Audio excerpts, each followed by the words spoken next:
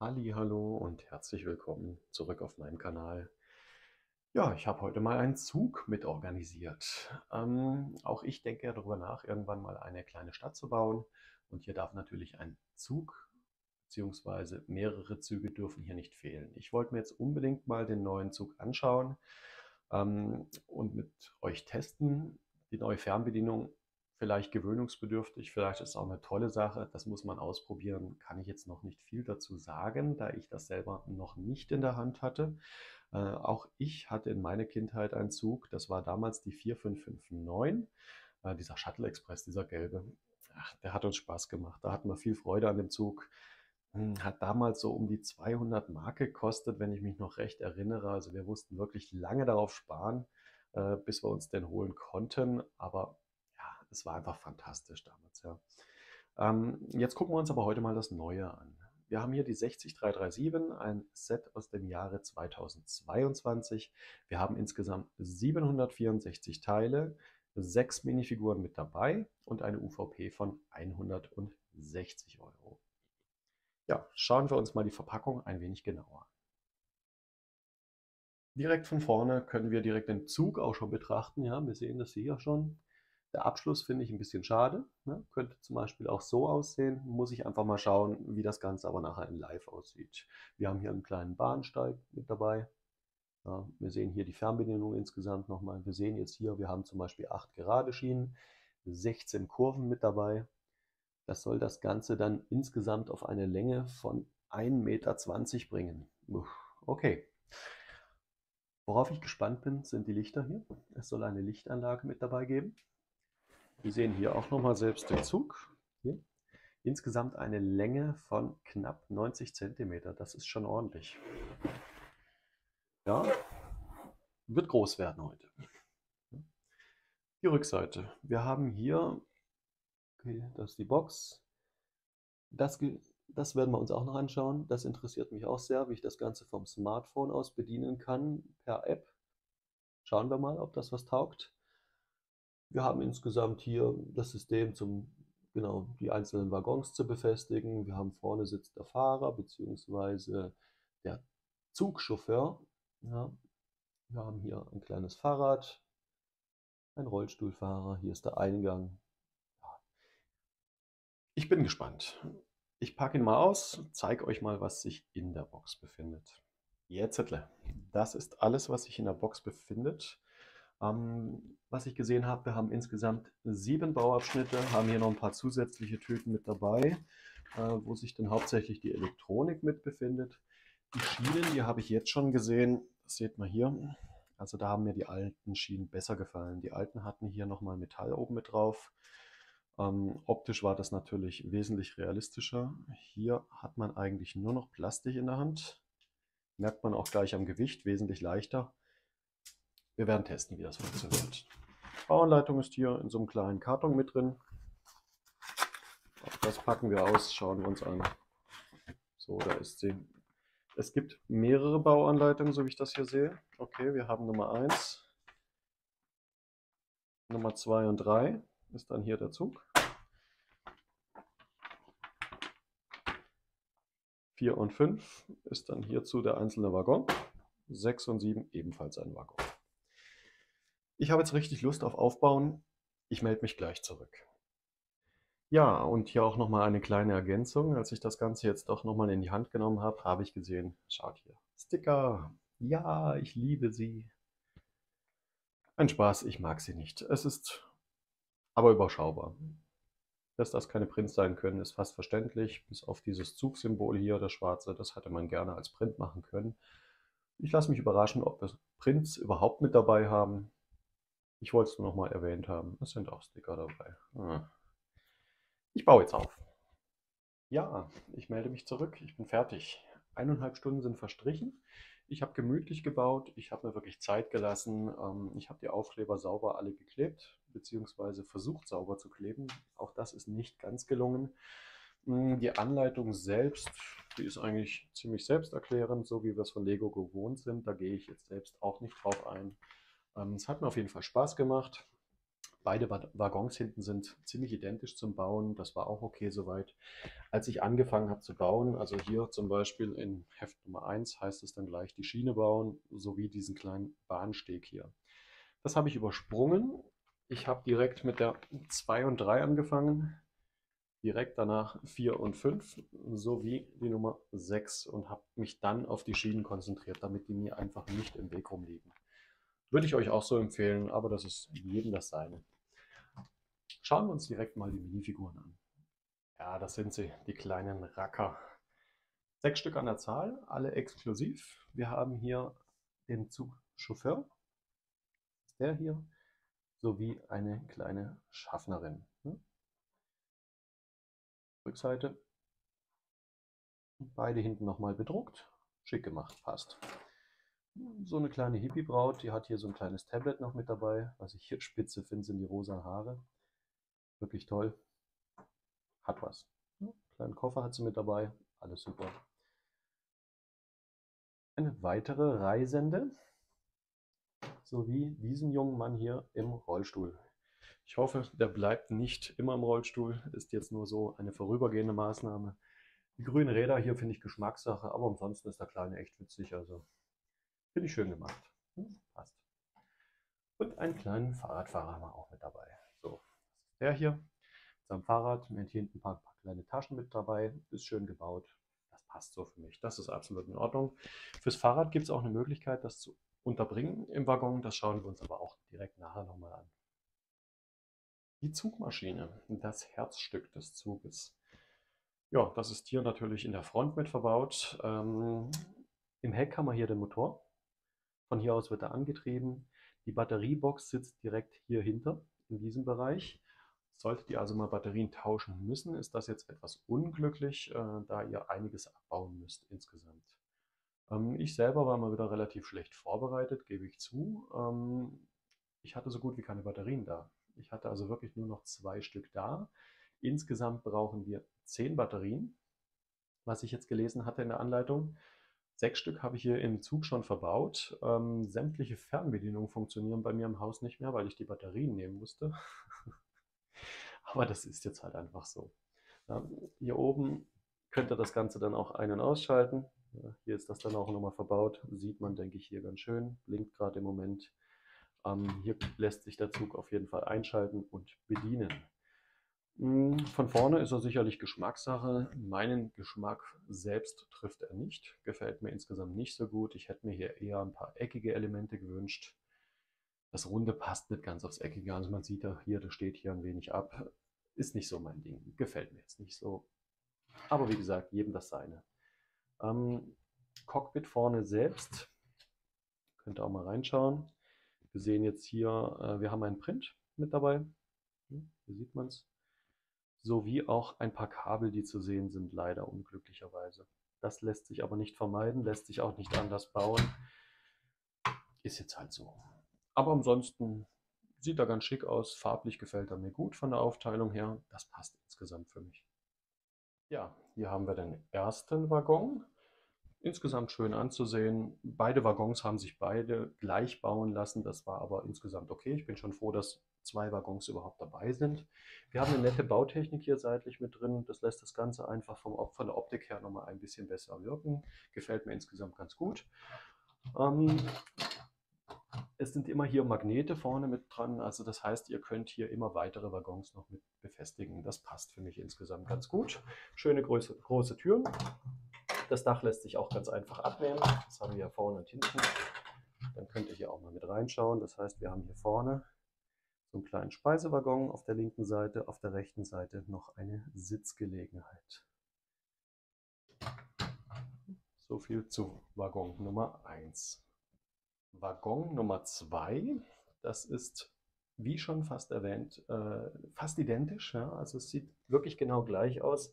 Wenn wir hier mal separat nochmal in den Innenraum reinschauen, hier seht ihr jetzt gleich, wir haben zwei Sitzgelegenheiten. Hier ist eine und hier ist die andere. Also links und rechts eine Sitzgelegenheit. Und das Fahrrad lässt sich dann insgesamt aber auch nochmal drin mit äh, anbringen. Da gibt es dann so eine schöne Wandhalterung. Das ist allerdings ein bisschen knifflig hier reinzubekommen. Doch wenn man es mal drin hat, hier seht das, hängt das ganz gut und hält auch. Also das ist schon schön gemacht, das passt. Bin ich so ganz zufrieden damit. Was wir außerdem noch haben, ist so ein kleiner Bahnsteg, der euch hier mit dazugegeben wird. Ganz ehrlich, das Ding ist ein fertiger Witz. Lasst das weg. Also ich werde hier definitiv was anderes bauen. Wir haben hier nochmal eine kleine Karte mit Übersicht, ne, ein äußerst hässliches Bäumchen, so wie sie eine kleine Sitzgelegenheit. Aber auch wenn ihr jetzt hier mal abschaut, hier der Abstand, ja, und wenn jetzt der Zug hier drauf steht, der wird ja dann nachher quasi hier so dran vorbeifahren. Ja, also da kommt keiner rein, ja, kein Rollstuhlfahrer, niemand. Die, die fallen hier alle unter die Gleise. Ähm, ja, da sieht man es. Der Abstand ist einfach viel zu groß. Muss näher ran, sollte was anders gemacht werden. Ist okay, wenn was dabei ist, aber das, nein, nein, nein, das passt nicht. So, aber ich würde jetzt den Zugchauffeur mal bitten einzusteigen, denn ich will unbedingt testen und fahren. Ich bin echt gespannt. Ich baue den Rundkurs auf, den schauen wir uns jetzt an.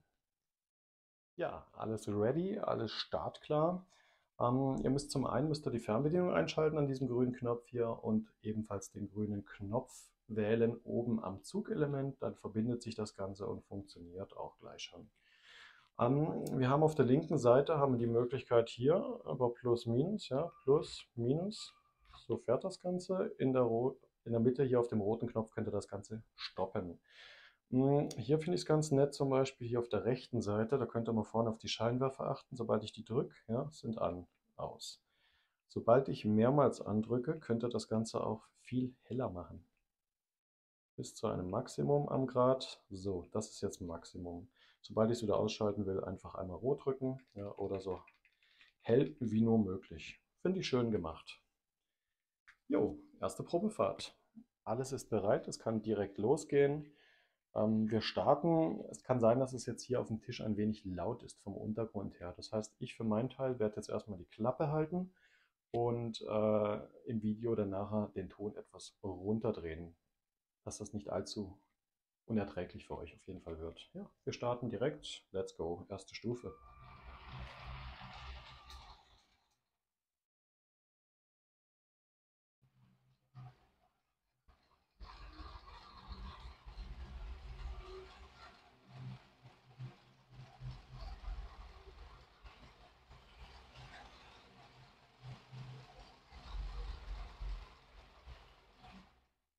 Notbremse. Das macht Spaß. Das macht echt Spaß. Das Ganze geht natürlich auch rückwärts.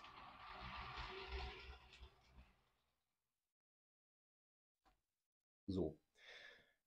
Versuchen wir nun Vollspeed. Ich bin mir ziemlich sicher, dass er das nicht aushalten wird.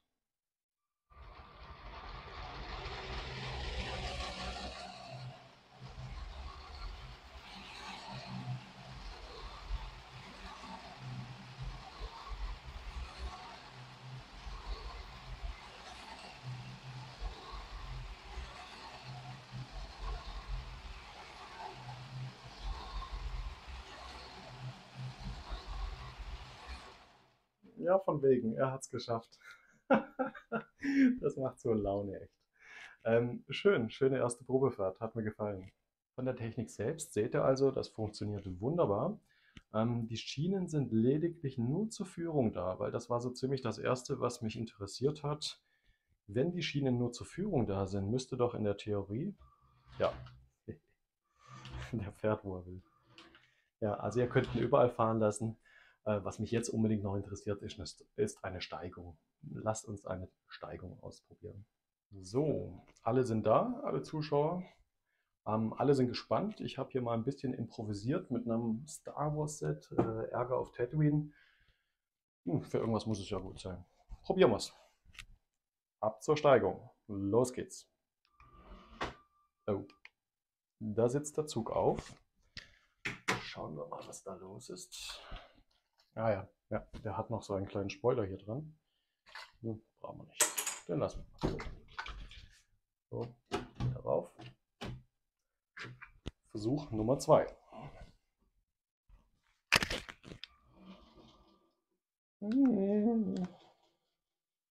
Ja, ja, komm, komm, komm.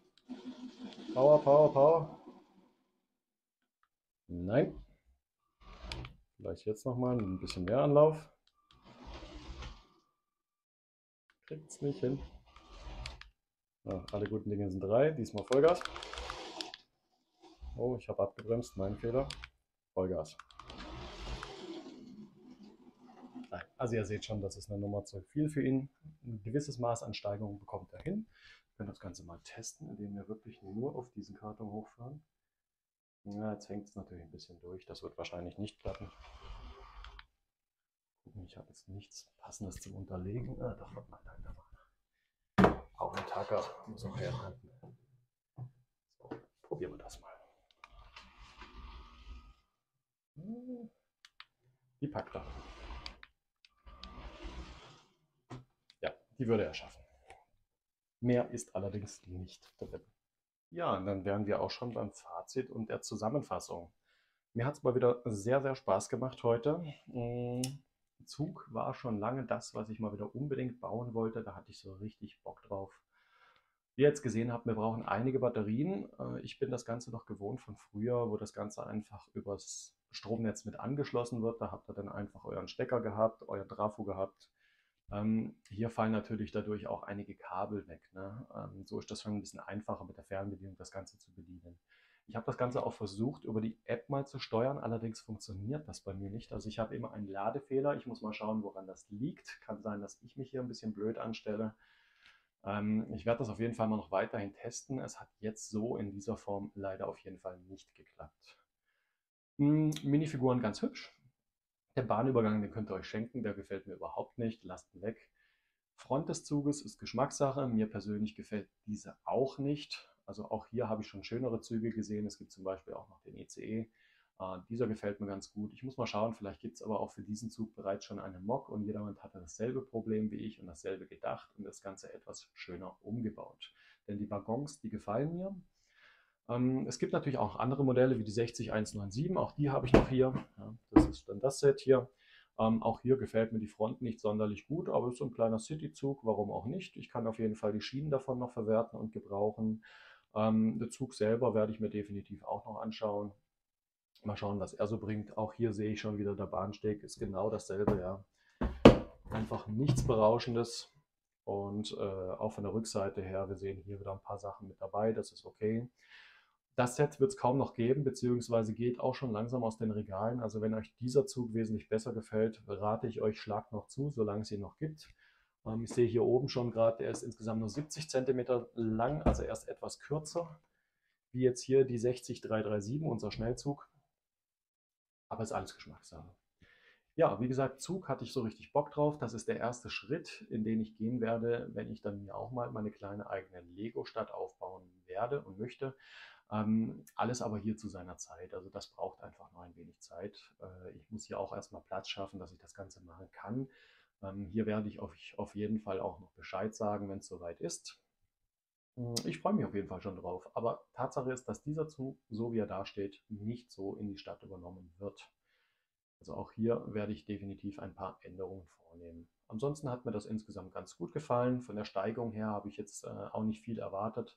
Ich denke, das Ganze müsste man einfach etwas länger ziehen, weil auch hier möchte ich dann gerne mal, wenn ich eine Stadt baue, so ein bisschen über die Berge, so mit einer Brücke und so. Man muss einfach mal schauen, inwiefern das die, die ganze Steigung dann zulässt. Aber das wird dann sowieso eine längere Wegstrecke werden. Und äh, ich bin davon überzeugt, von der Kraft her müsste er es eigentlich schaffen. Auch mit zwei Waggons dran, das sollte eigentlich gehen.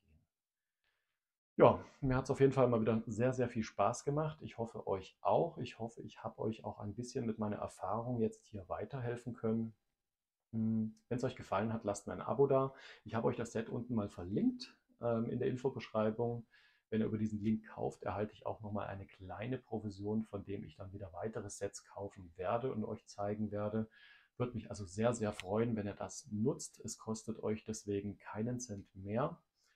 Ich für meinen Teil werde wahrscheinlich jetzt noch mal was weiteres bauen. Ich bin so richtig im Baufieber im Moment, auch im Zugfieber. Also auch der zweite Zug lacht mich hier schon gerade an, aber ich denke, das wird heute nichts mehr.